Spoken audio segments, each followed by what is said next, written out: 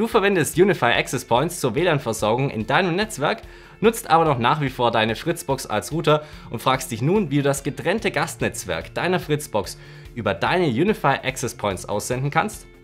Dann bist du bei diesem Video hier genau richtig. Ich zeige dir, wie du deine Access Points so konfigurieren kannst, dass diese das originale Gastnetz deiner Fritzbox aussenden und deine Gäste nicht mehr auf deine internen Netzwerkgeräte zugreifen können.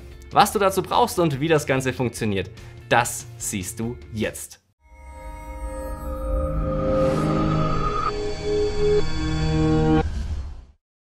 Hallo, mein Name ist Daniel von der Firma Apfelcast. Wenn du Fragen zum Thema Unify hast oder Unterstützung bei der Konfiguration oder dem Aufbau deines Unify-Netzwerks benötigst, dann schreib mir doch einfach eine E-Mail an service@apfelcast.com.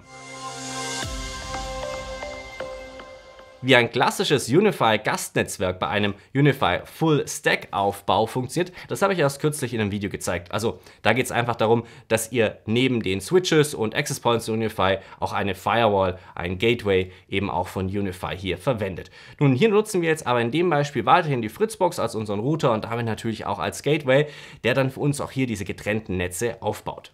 Schauen wir uns jetzt mal an, was ihr braucht, damit ihr das wie im Video hier gezeigt dann gleich umsetzen könnt. Nun, als erstes, ihr braucht natürlich Unify Access Points. Wer hätte es gedacht, welche Modelle ihr da verwendet, ganz egal. Das funktioniert mit allen Unify Wi-Fi Access Points. Dann solltet ihr natürlich auch Zugriff auf euren Unify Controller haben, also die Network Controller Software. Dabei ist es auch ganz egal, ob die bei euch auf einem PC läuft, ob ihr die als Docker-Container betreibt, ob ihr die auf einem Linux-Server installiert habt, ob ihr einen Unify Cloud Key benutzt, ganz egal. Ihr müsst halt einfach nur eure Unify-Geräte damit verwalten können. Jetzt kommt noch eine wichtige Sache. Ihr braucht auf jeden Fall auch, damit ihr das wie gezeigt hier umsetzen könnt, einen Unify Switch. Aber keine Sorge, das muss nicht teuer sein, muss auch kein großes Modell sein. Es reicht auch schon hier dieser Unify Flex Switch, 5-Port Switch für um die 25 Euro. Das würde schon als Einstieg hier vollkommen reichen, wenn ihr bis zu drei Access Points damit versorgen möchtet. Wenn ihr mehr als drei Access Points habt, bräuchtet ihr einen größeren Switch und bei einer höheren Anzahl von Access Points lohnt es sich vielleicht auch von Unify einen PoE Switch hier sich zu holen, der also auch direkt über ein Netzwerkkabel dann eure Access Access Points mit PoE Strom versorgen kann. Der hier kann zwar PoE empfangen, also kann selber, der Switch an sich, per PoE mit Strom versorgt werden, aber ihr müsst natürlich bei den Access Points, die ihr dann hier hinter anschließt, immer noch einen PoE-Injector anschließen. Aber wie gesagt, nutzt da einfach den Unify Switch eurer Wahl. Ihr könnt natürlich auch einen 16-Port, einen 8-Port, einen 24-Port Switch und so weiter hier verwenden. Das ist ganz egal, die lassen sich in Unify alle genau gleich managen. Für den kleinsten Setup, wie gesagt, mit bis zu drei Access Points reicht der hier vollkommen aus. Schauen wir uns nun mal an, was wir hier eigentlich genau konfigurieren. Hauptsächlich nutzen wir für das, was wir hier tun, hier eine Funktion, die eigentlich eine jede Fritzbox mitbringt, egal ob das eine Cable-Fritzbox ist, eine DSL-Fritzbox oder eine Fiber-Fritzbox ist. Und zwar, dass ihr das Gastnetzwerk nicht nur per WLAN ausgeben könnt, sondern auch über einen LAN-Port. In der Regel ist es Port 4 oder Port 5, je nachdem, was für ein Modell ihr hier verwendet. Und das geht, wie gesagt, bei allen Modellen. Diesen Gastport der Fritzbox, den speisen wir dann in unser Unify-Netzwerk ein. Nun, wie funktioniert das Einspeisen hier konkret? Schauen wir uns dazu mal die Verkabelung an. Ihr schließt einmal den Switch ganz normal über ein LAN-Kabel an eurer Fritzbox an einem normalen Port, also beispielsweise Port 1 bis 3 an.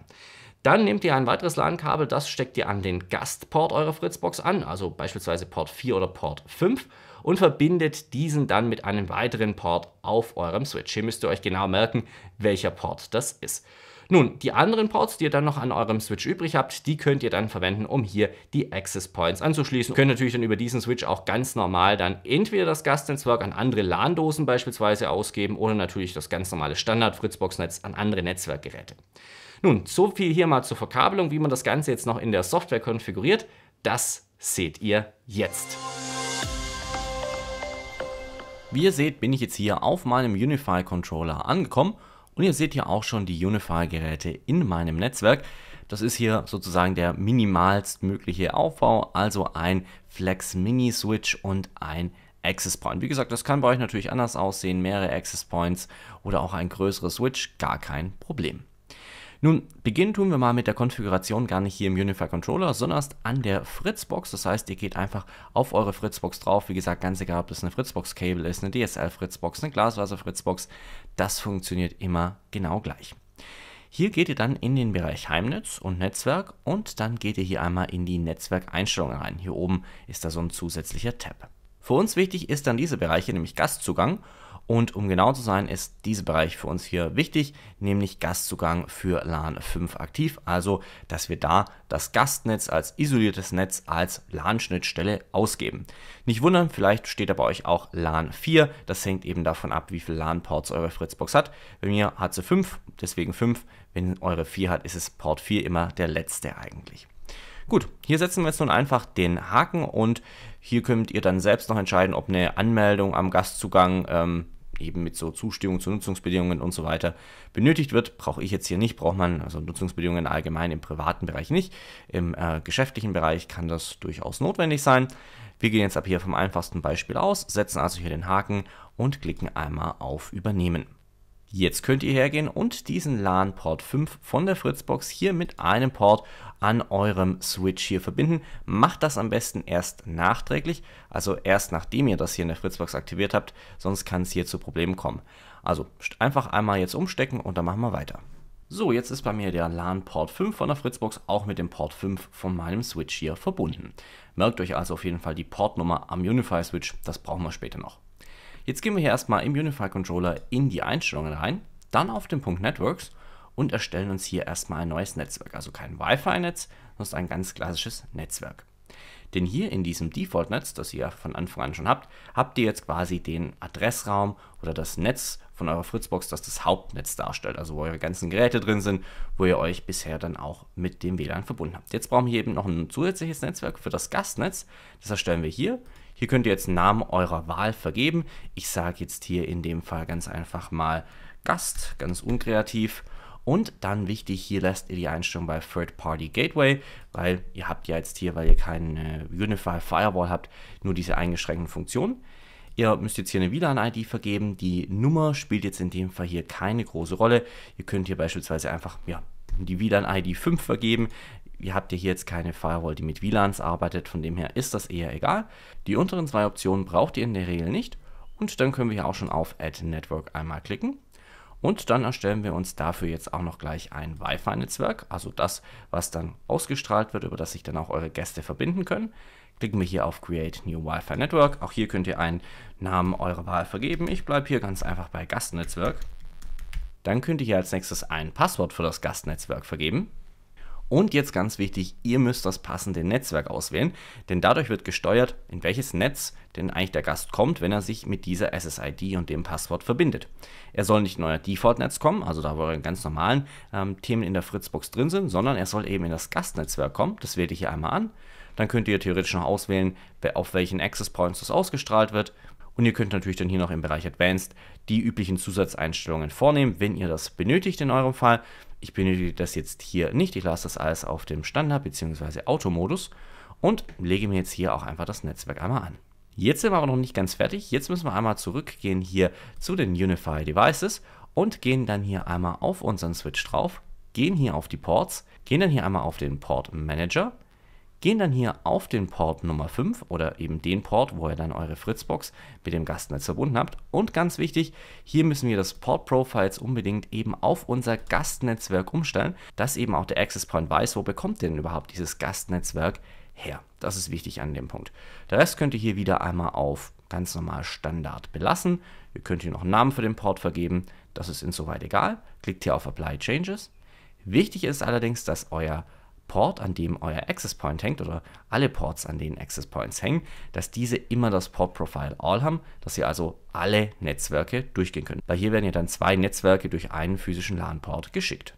Wenn ihr das soweit habt, sind wir mit der Konfiguration in der Unify Software auch schon fertig. Ich würde sagen, jetzt probieren wir das Ganze doch mal aus. Um das Ganze zu testen, bin ich jetzt hier einmal auf meinem iPad angekommen und wie ihr seht, bin ich jetzt hier schon mit dem ersten WLAN-Netz verbunden. Das nennt sich hier Office, ist also mein Standard-WLAN-Netzwerk, das ich schon initial direkt mit Unify eingerichtet habe. Wenn wir uns hier mal die Netzwerkeinstellungen anschauen, sehen wir auch, wir landen hier bei IP-Adresse direkt in dem Standard-Adressraum meiner Fritzbox. Ich habe jetzt hier mal, um zu zeigen, auf was ich im Netzwerk Zugriff habe und auf was nicht, einmal hier in Safari schon mein Synology NAS hier geöffnet, das sich in dem Netzwerk findet. Wie ihr seht, seht ihr auch die ganz normale interne IP-Adresse. Das kann ich hier auch aufrufen, ganz normal natürlich aus dem internen Netz. Das Spannende ist natürlich jetzt aber, was passiert, wenn ich hier einmal ins Gastnetzwerk reingehe. Dazu verbinde ich mich einmal hiermit. Geht jetzt bei mir automatisch, weil ich das Passwort davor schon einmal hier eingegeben habe. Ansonsten müsstet ihr euch natürlich hier einmal noch kurz mit dem Passwort authentifizieren. Der erste wichtige Punkt ist jetzt, wenn wir hier auf das i gehen, sehen wir, wir haben nun eine IP-Adresse in einem anderen Adressraum bekommen, genauer in dem Gastnetz-IP-Raum meiner Fritzbox hier. Gehen wir nun einmal zurück in den Browser hier rein, aktualisieren einmal die Seite und wie wir sehen, es lädt nichts. Das ist natürlich auch genau der Effekt, den wir hier erzielen wollen, nämlich dass eben unsere Gäste zwar ins Internet können, aber hier keine Geräte im internen Netzwerk aufrufen können. Ja, also ihr seht, da kann ich jetzt noch lange warten. Da kommt irgendwann eine Fehlermeldung, aber ich komme eben hier nicht an meinem, auf mein NAS drauf, wie ihr oben am Ladebalken seht. Allerdings Google und alle anderen Webseiten natürlich kann ich hier komplett problemfrei aufrufen. Die Konfiguration war also erfolgreich.